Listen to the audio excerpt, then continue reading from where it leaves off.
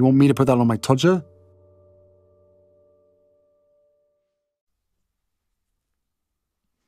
Harry's wife. Worst wife in America. Picture the scene. It's morning in Monty Shit Show. Harry, nowhere to be seen, probably in the chicken coop, sleeping off the fog of a ganja induced night. The kids are up, the nanny's dealing with them, and then all of a sudden, the quiet calm of the Monty Shit morning is pierced by the shrill, shrieking shriek of Harry's wife as she yells, Worst wife in America? Worst wife in America? Why am I not the worst wife in the world? I demand to be the worst wife in the world. Of course, what's all this about her being the worst wife in America? Well, something called celebratingthesoaps.com, no, me neither, has an article by Enemsoma Okechukwu titled Harry's Wife Included in Trending Worst Wife in America poll. Yes, it would appear that there's another salvo challenging her notion of popularity by way of a healthy dose of challenge fuel. Let's dive in and find out what this is all about. There's a viral poll on Twitter right now, and it's got the names of four ultra famous American celebrities. What's the purpose of this highly controversial poll? It's to find out who the worst wife in America is. Can you guess the names of the four people on this poll? Somebody got bored on Twitter and decided to have a poll to determine who the public thinks is the worst wife in America. Within hours of going live, it had become so popular that by the time it had gotten, by the time it had ended rather, it had gotten over 149,000 votes. The names of the celebrities on the poll included Gisele Fetterman, Jill Biden, Harry's wife, and Jada Pinkett Smith. However, the two American wives that the people were torn over about regarding who should win the crown were Harry's wife and Jada Pinkett Smith. At the end, actress Jada Pinkett Smith narrowly won the race with 32%, compared to Harry's wife's 31%.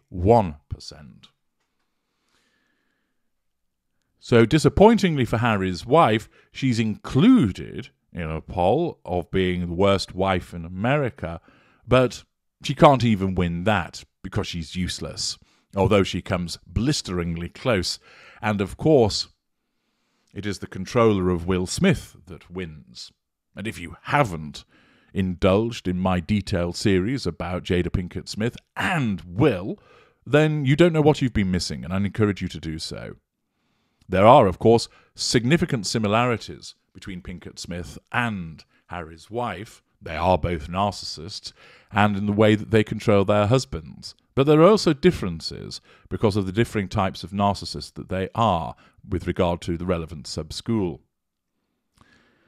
The article continues At this point, it does seem like kicking a horse when they're down, because Harry's wife and her husband Harry recently got roasted by the popular American adult cartoon South Park, and they're probably still reeling from it the caricature cartoon episodes titled The Worldwide Privacy Tour and featuring the dumb prince and his stupid wife ripped into the royal couple, albeit without personally naming them.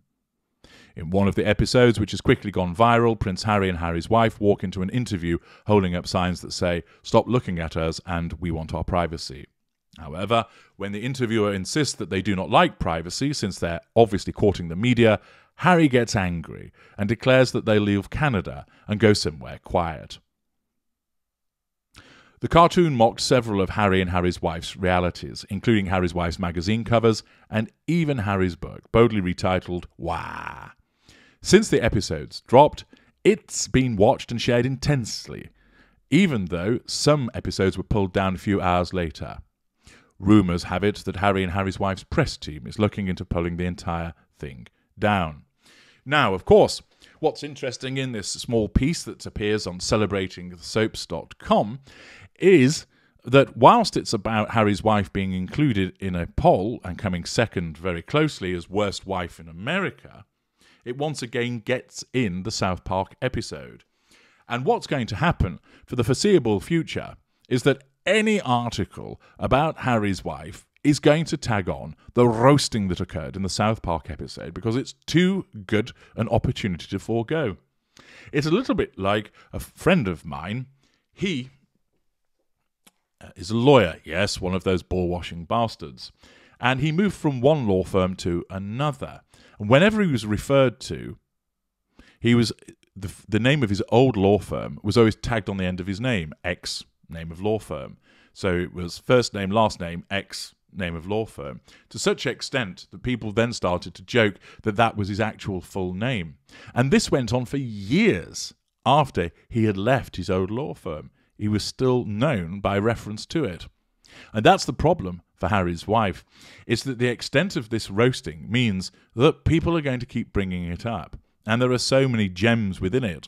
The magazine covers plastered over the house, which take the piss out of the actual magazine covers. The flying saucer hat that she was wearing, and perhaps best of all, the fact that Harry looked inside her to find that she was completely empty, which is accurate. Here, her popularity takes another pummeling as she comes second by 1% in a poll of 149,000 votes to be declared runner up to the worst wife in America. This demonstrates the way, of course, that so many people see her as a horrible and unpleasant individual and, moreover, as being a terrible wife.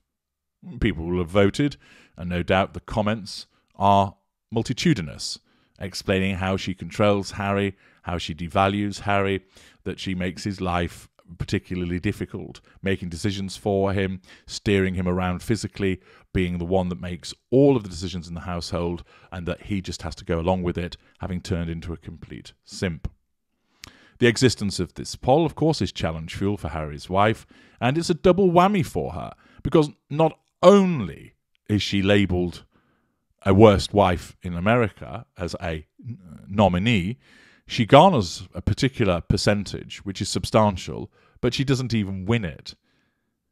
So she comes second, which of course no narcissist likes to come second, even in a poll of this nature more and more problems pile up for Harry's wife, and it demonstrates that the weight of all of this is going to prevent any meaningful comeback and underpins the fact that essentially they're finished in terms of ever getting back to the heights that were once had. I'm H.G. Tudor. Thank you for listening.